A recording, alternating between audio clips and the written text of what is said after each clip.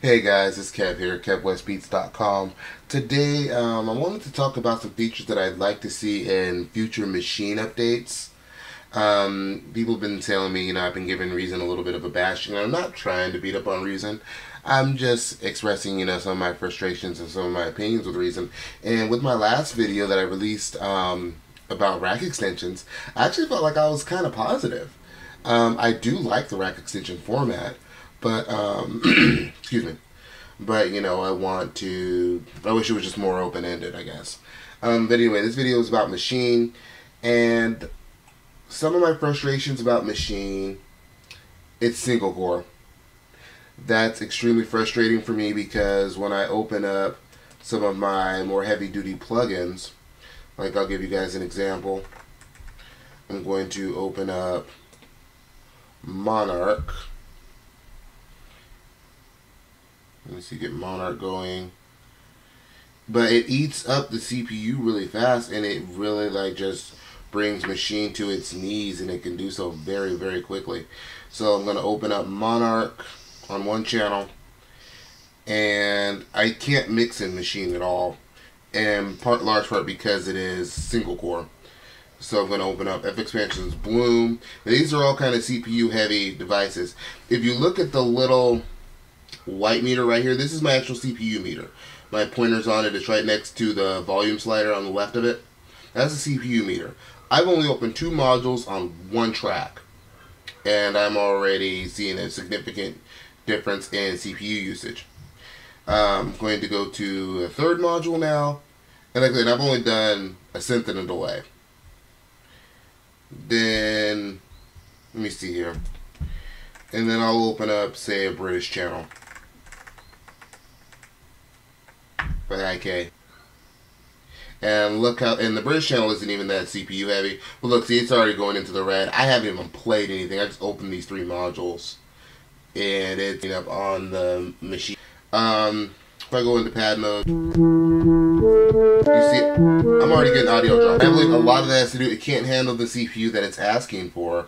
It's, my computer's Core i7, um, know, 2.2 gigahertz. You know, I don't I don't have a bad computer. I don't have a low power by any means.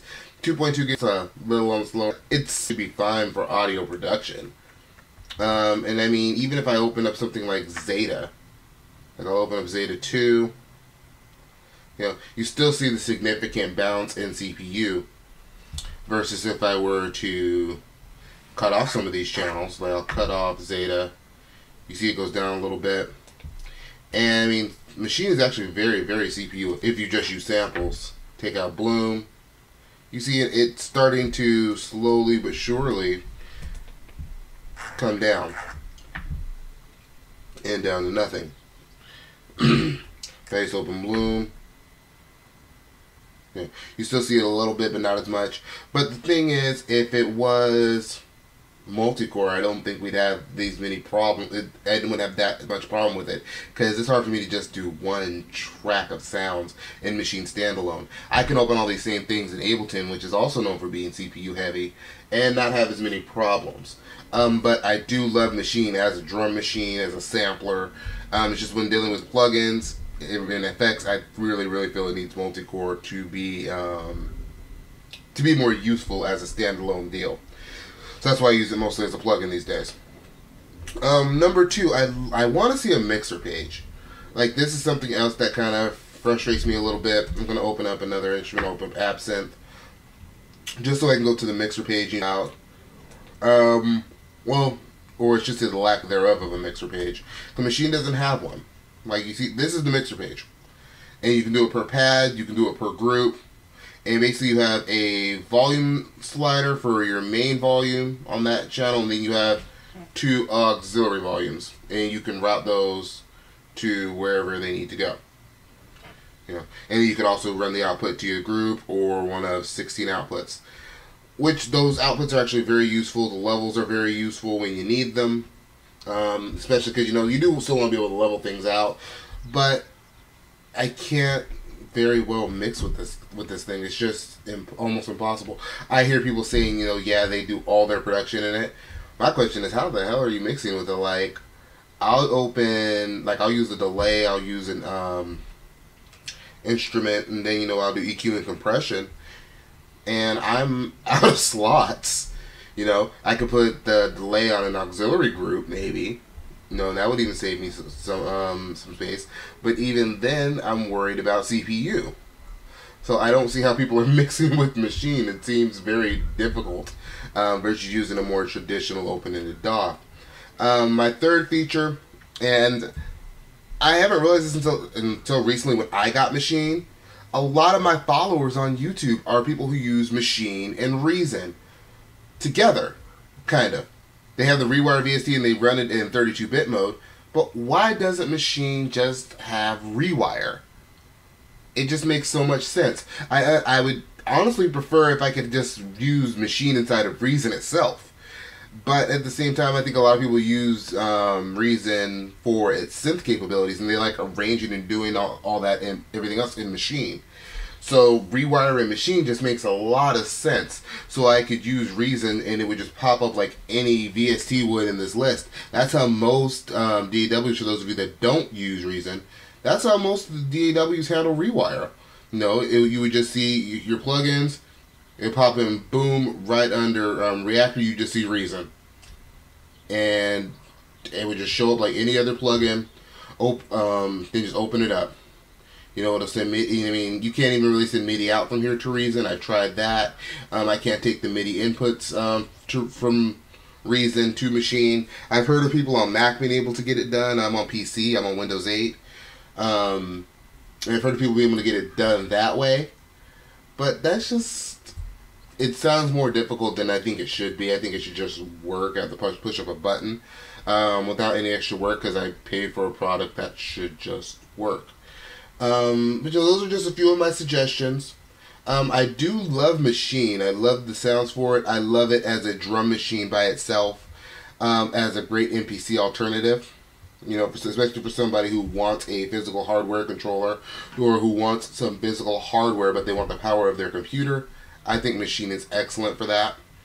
Um, it's not an MPC, but I don't think that's really the point. It's more of an MPC alternative. Um, I still have my 2000, my MPC 2000 actually is broken and it's in my garage. But, um, so I do have experience with MPCs. I have, like I said, I have a 2000 non-XL. And with this guy, no, they're similar, but they're very different too. Um, so let me try to think if there's anything else that I wanted to see there. That's basically it. Multi-core, audio tracks, a mixer page, and rewire. Oh, I don't remember I talked about. Um, yeah, I did talk about the mixer page. So yeah, so that's everything that I want to see in Maschine. What would you guys like to see? You know, if it's in 2.0 or 1.9, I hear they you know they kind of have to do a little bit of a rewrite in order to make it multi-core. Um, so it might have to wait till 2.0, which also makes me think, why didn't they just make it multi-core from the beginning? That's whatever. Um, what do you guys think about Maschine? What would you guys like to see added to it um, to make it better for you? Um, I'm not necessarily on the wavelength of making it a DAW. Um, I don't think Maschine is a DAW. I think it's an excellent drum machine. Um, I think of it more like I said, like I would think of an MPC SP1200, um, MV8000, um, SP uh, ASR10, something like that. Also, I'd, I would have loved to have seen an ASR10 mode on here, because for those of you that don't know, um, let me pull up the sampler real quick. You go into the sampler, this engine mode right here, right under where you see Bloom at, you can actually go into several different modes, um, sound modes. So you have your vintage mode with the SP1200 and the MPC60. Obviously, I think for legal reasons they said MP60 and SP and um, S1200. We know what those are. And then you can even um, emulate their filters. You have the low pass filter, the low mid, the high mid, and the high pass filter. And they actually did a really good job with these. These things sound great. I use the MPC emulation often. I really like the SP1200 with the low mid filter on there too. So I would have loved to see an ASR10 on there, or maybe even just seeing some more classic modules on there. Um, but I do love what we have so far. Anyway, again, tell me what you guys think. I'm rambling. I'll see you guys next time. Thanks for watching, and check out KevWestBeats.com.